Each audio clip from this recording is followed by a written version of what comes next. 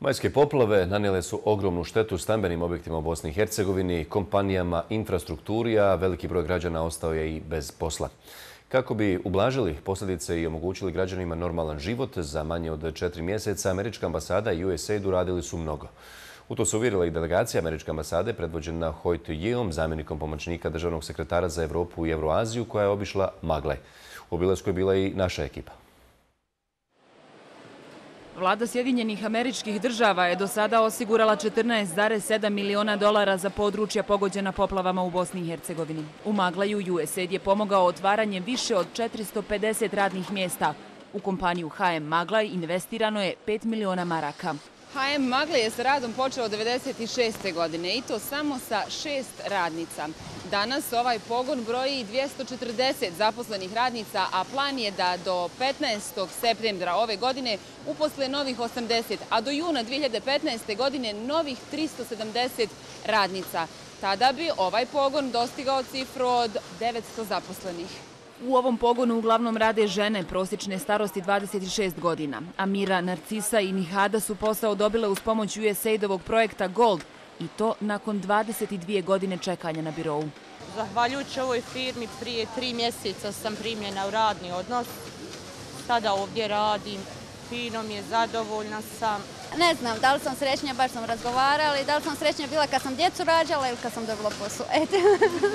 Lijep je osjećaj kad radiš, imaš, što se kaže, neovisan si, nisi ovisan ni o kom. USAID je posjetio i 84-godišnju Hatipašu Bilić, čija kuća je u potpunosti uništena poplavama, a za 11.000 USAID ju je u potpunosti obnovio.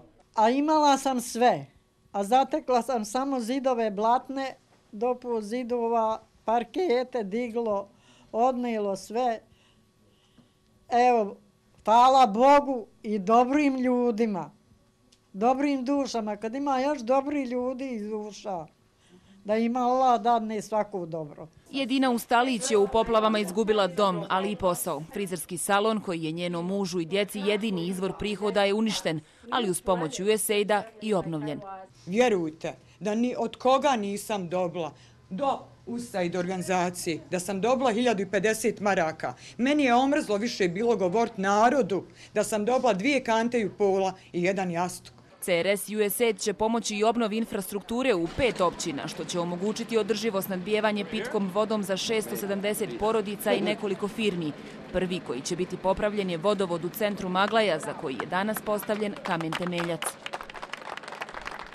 Ta će sredstva biti iskorištena za obnovu lokalne infrastrukture, za pomoć poljoprivrednicima i e, naravno za ponovno pokretanje malih biznisa.